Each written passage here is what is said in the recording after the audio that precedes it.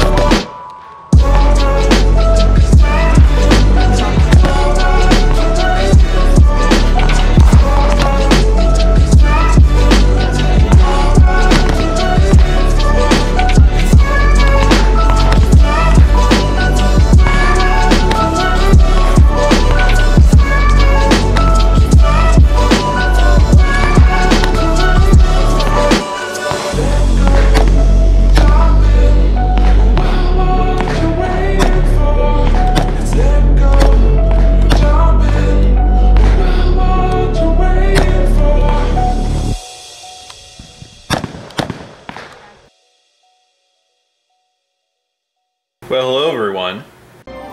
Hello. I don't know what's going on. I don't know what people's frame of reference is, but there's more than a few people that are saying Geissele rifles are overgassed.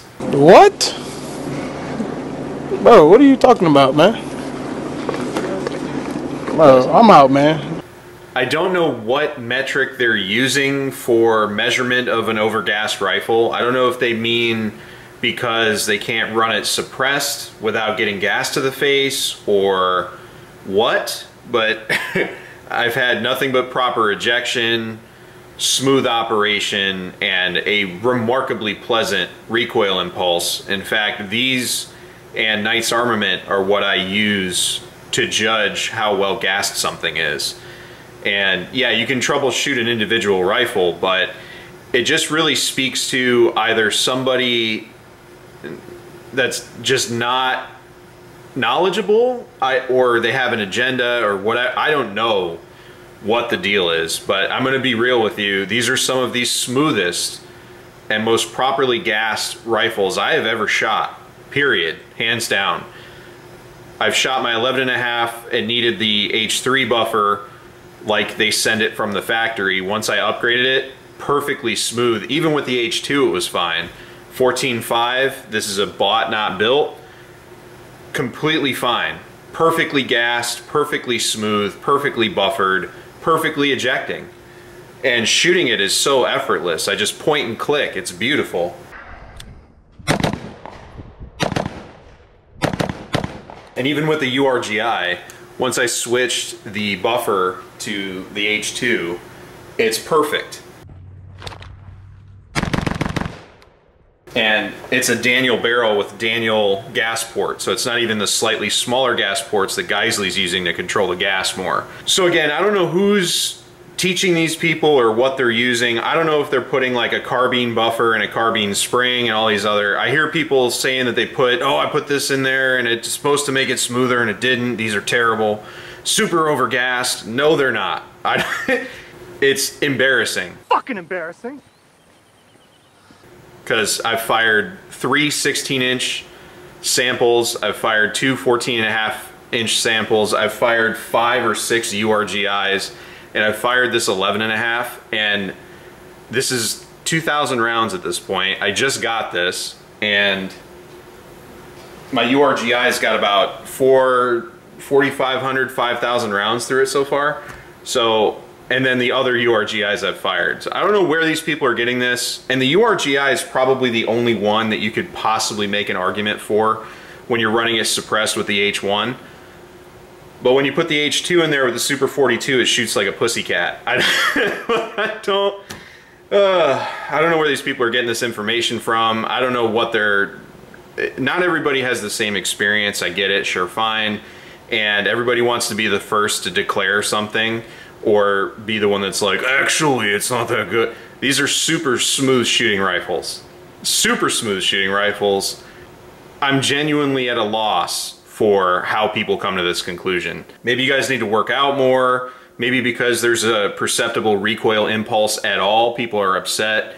Or they shoot things with muzzle brakes a lot. I don't know. But pull the rifle into your shoulder and start pressing shots. It's gonna stay flat. It's really not that hard. I, I don't, like it's, it's funny to me. It's legitimately hilarious to watch these people say these things. And then there's other people who haven't fired them and don't have access to them, unfortunately. They're gonna buy off on those people saying these things. I've handed these rifles out to probably about 20 different people, men, women, they've all shot them. Nobody's ever said to me, wow, that shoots harsh. I've always gotten compliments about how smooth these things shoot. There's definitely things to complain about for Geissele, and I'm doing Geissele as a brand here soon, but uh, overgassing is definitely not one of them. The black oxide finish on my 14 and a half inch barrel is definitely something to bring up and be concerned about, but I have the standard nitride finish or whatever the old finish was on this one. So you know, whatever. But overgassing? No, man, no. Not by any stretch of the imagination. So whatever. I guess I just have experience on it, so I'm kind of trying to understand where people are coming from with this stuff, but oh boy. So enough of me talking. Let's have a nice outro to that Barnacle Boy song that Forward Observations turned me on to. I was actually going to use it for this review video, which I probably still will. It's a pretty baller track. But let's see some more shooting of how smooth these things are, just to bring that point home. Thanks for watching. Take care out there.